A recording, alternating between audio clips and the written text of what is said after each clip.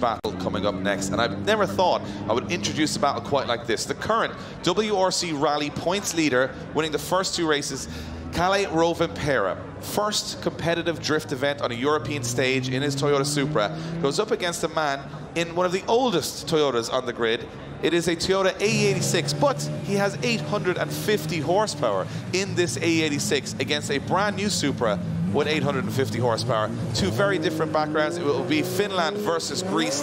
Everybody wants to see what happens next. It will be Rovanperä to lead out Grillis into that first corner. Yeah, Stavros Grillis looks for the back end of the A9 Supra as Rovanperä fires it in. Big separation right now, but don't underestimate the Greek Stavros Grillis because that car is incredibly gripped up. Look at this, struggles to slow the car down as he gets into the outside zone. Now Grillis has found the back bumper of the Supra, goes for the wall, there's Rovanperä, Pera. look at Grillis, gets himself back into the moment, back in the zone, flicks the car on angle.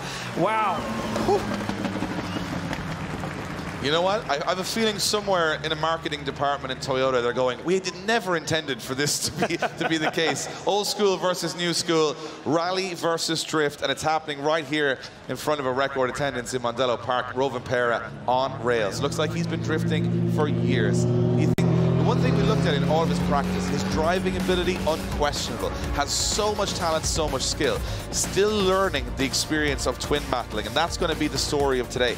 But right now in those lead positions, he looks so comfortable. But look at Grillis. He knows he's lost a little bit of ground on the first corner, decides to make it up through the course, and right throughout, he is right up close and personal with Rovanperä all the way to the end. How cool is it to see this machinery on track? Just the, the, the two Toyotas together, Dave. It's like new school, old school, and some people would have counted the old school out of the fight, but there is no way you could count that little Toyota Corolla out of it this weekend. Well, I was, I was mentioning yesterday, I mean, that Corolla came out of the factory line with 120 horsepower, and then you put 850 horsepower in it, and wheels that are, you know, huge, and tires that are 285 tires on the back, and he's still able to pedal it. And a lot of people say that chassis is done and dusted in drifting. Well, Stavros Grillis showing that it's still very competitive. Now we get to see Kalle Rovanperä in the chase position. This is the part that he said he's, he's learning as he goes.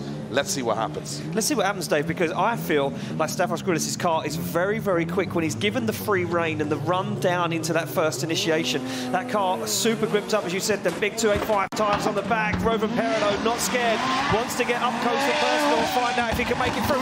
The initiation from Stavros Grillis. He puts that car on angle, hammers on the front. Rovanperä now starts into the groove, up into outside zone four. Rovanperä in that super, not scared, almost takes the back end off of the Corolla, goes for it again, and Stavros Grillis over-rotates. Woo! Everybody's okay. That was a moment. That was a moment. Grillis threw it in on almost the lock stops into that last corner. Just couldn't hold it. Rovanperä making evasive action, and there's one man that can make evasive action better than anyone. It's a rally driver, and he looks to me like he's going to the top 16 right now. And Stavros Grillis, though, threw 150% at that run, knew he had to do it, and that little Corolla, he, he gave it everything. He gave it more than everything, Dave. Look at this, though.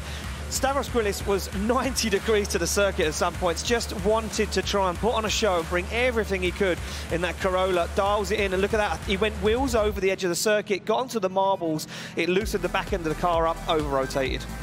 Yeah, I mean, he had to do it, he had to go for it, but he just went crazy onto the wall, onto 90 degrees, and just here you knew there was no holding that yeah. car at that point. You could see Rovanperä on the front brakes, knowing this is going to happen. Look at this, he's already slowing down and going, this car is not going to make it.